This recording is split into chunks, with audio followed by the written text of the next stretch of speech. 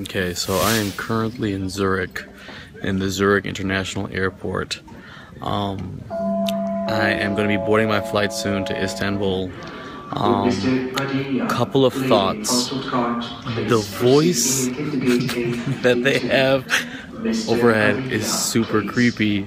Um, it kind of sounds like Hannibal Lecter inviting you for dinner, you know? So I've been very scared of it this entire time. The Swiss are a very um, serious people.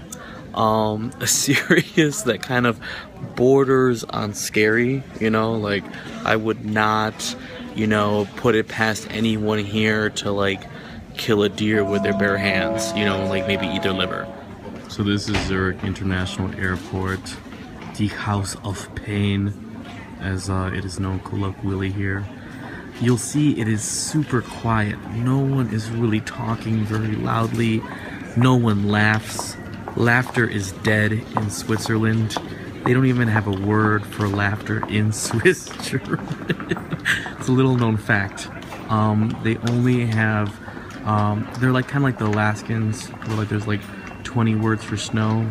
Here there's like 50 words for gray and dark blue. This is Zurich. Willkommen. Um, lots of mixed emotions, you know, like especially with the Hannibal Lecter voice.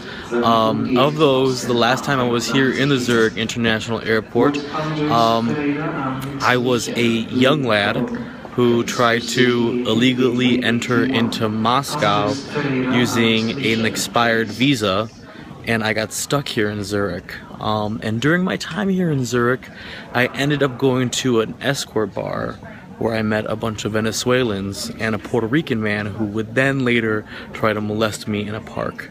So, lots of different feelings, you know, about being back here in Zurich. You know, um, I passed by the desk where they had the Moscow flights and they were checking passports, and I got a little, you know, about it. But um, I'm okay, and I'll be going to Istanbul soon. So, bye. Stalin, say like and subscribe.